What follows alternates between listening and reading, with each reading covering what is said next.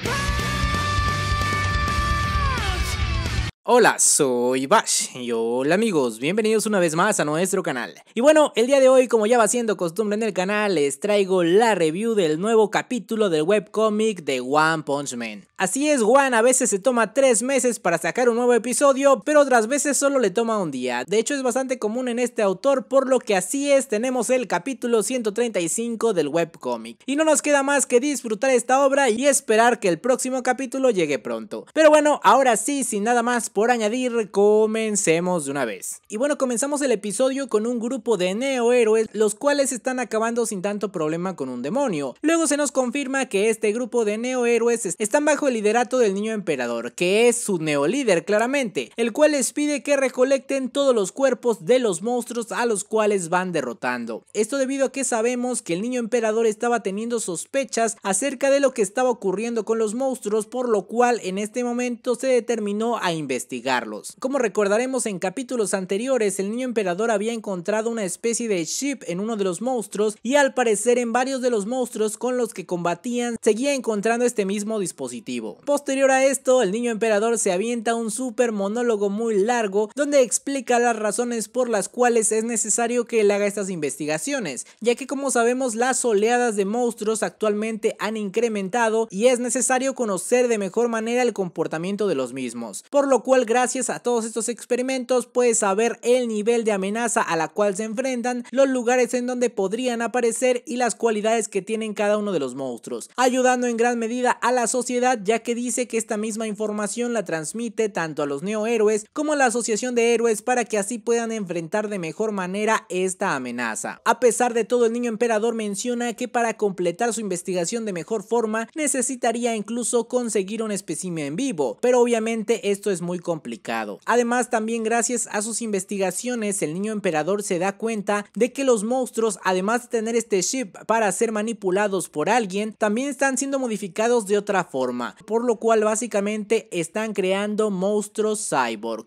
Así es, una amenaza más grande de la que pudimos haber esperado. Por lo que comenta que gracias a estas modificaciones los monstruos están incluso incrementando su nivel de amenaza, por lo cual es cada vez más peligroso enfrentarse a ellos. De forma ya se nos había comentado cómo estas modificaciones cyborg en personas comunes causaban un enorme incremento de poder. Ahora sí potencias a los monstruos con tecnología obtienes unas bestias incomparables. Por lo cual quien se está encargando de hacer estas creaciones es una enorme amenaza. Por otro lado pasamos con Saitama quien se sigue encargando de sus actividades en la asociación de víctimas de nombres de héroes. Pero para el momento en que Saitama y su grupo llegan para intentar detener una amenaza los neohéroes ya lo han cubierto y prácticamente han acabado con todos los monstruos, por lo que le mencionan al grupo de Saitama que ellos no son necesarios. Se menciona que gracias a sus trajes especiales los neohéroes pueden acudir mucho más rápido a los lugares para así detener la amenaza antes que los héroes comunes. Y justo en ese momento surge una amenaza muy cerca de ellos, por lo cual todos los neohéroes salen corriendo hacia el lugar dejando parados a todos. Pero obviamente conociendo la increíble velocidad de Saitama, este logra rebasarlos y así llegar al lugar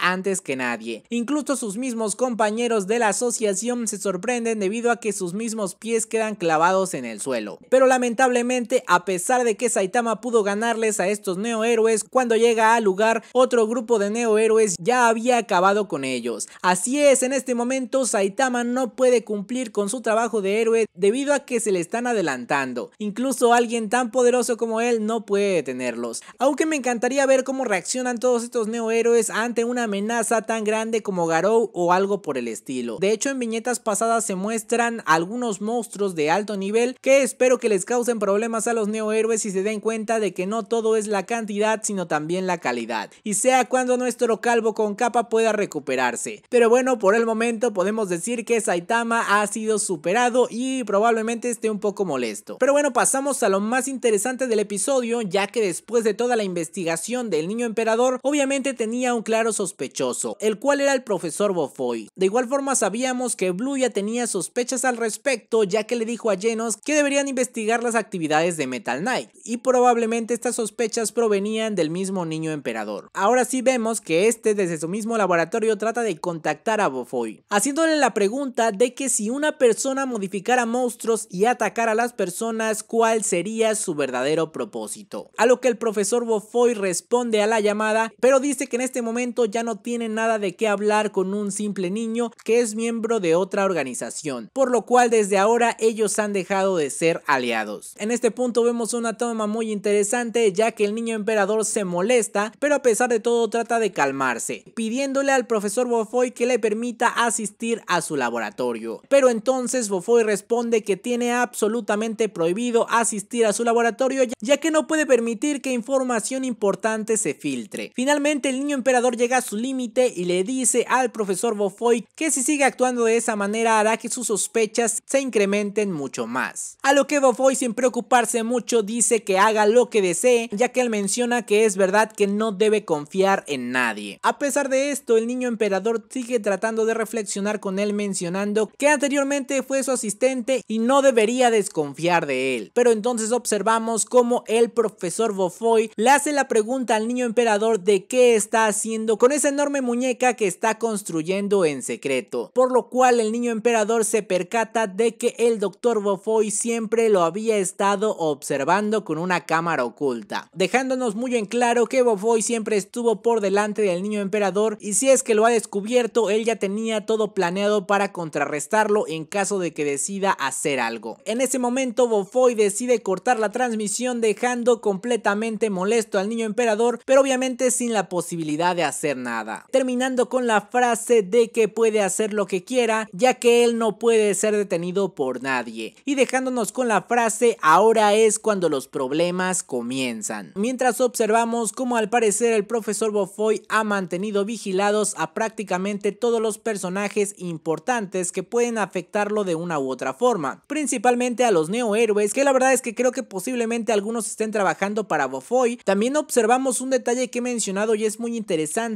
y es que Bofoy está manteniendo vigilancia absoluta sobre Saitama, ya que conoce sus capacidades y creo que no se lo tomará a la ligera. También vemos por ahí a Suiryu y a Blue, y sobre todo a Drive Knight, que creo que podría ser un personaje extremadamente relevante, ya que sabemos que desde un principio tenía sospechas sobre Bofoy mencionando que él podía ser peligroso. Y bueno, pues prácticamente se nos da la confirmación de que Bofoy será el villano del arco, una teoría que ya venía manejando desde capítulos anteriores, la verdad es que tiene muchísimo sentido, pero por lo que hemos visto está usando sus poderes y conexiones en ambas asociaciones para número uno ponerlas en su contra y también para acumular poder para sí mismo. Por lo que hemos visto, al parecer él está tratando de manipular al 100% a los monstruos y usarlos a voluntad. Pero algo que ustedes me estuvieron comentando en el video anterior, y, pero creo que con este capítulo toma una fuerza enorme, es que Bofoy de alguna manera quiera convertir a Boros en un cyborg. Así es, creo que esa sería la mejor línea argumental, ya que sabemos que Boros es un personaje súper importante en el mundo de One Punch Man y que a muchos nos encantaría su regreso. Conociendo del enorme potencial de este personaje y todavía dándole una potenciación cyborg, creo que podríamos crear un enemigo con un poder impresionante. De igual manera las cosas se van poniendo más intensas, la trama va avanzando, vamos a ver en cuánto tiempo One nos trae otro capítulo, si tenemos suerte tal vez mañana tengamos el siguiente, no lo sé, pero bueno tan pronto y llegue lo estaremos trayendo